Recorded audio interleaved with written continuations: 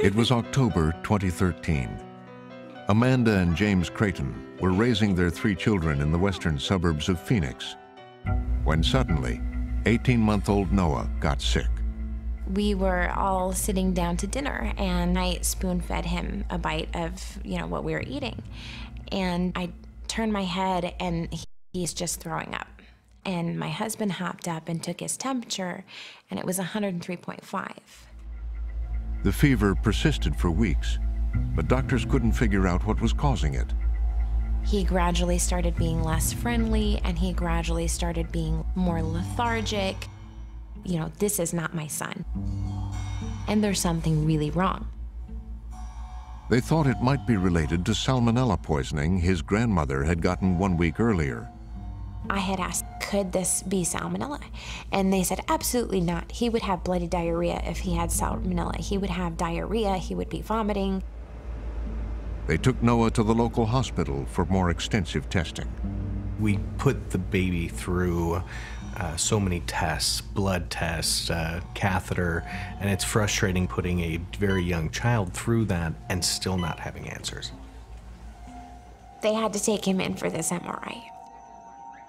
This new surgeon takes a look at the MRI and he said, This is an abscess and it's growing. We will have to do a craniotomy where they cut his scalp um, from one ear almost all the way over to the other, and they take a piece of his skull out. It was surreal, just completely out of control. The surgery lasted nearly four hours. When Noah first came back to the room, you know, it was scary. I mean, he was, he was in a coma. Days later, doctors finally explained the mystery behind his brain infection. They said, this is Salmonella Heidelberg. And he said that, you know, it doesn't usually happen that they get brain abscesses from Salmonella Heidelberg, but Salmonella is a very virulent bacteria. And when you have a young child with, you know, his immune system is not developed as somebody else's, um, it will seed in his brain. And he said that it's because of how strong the bacteria is.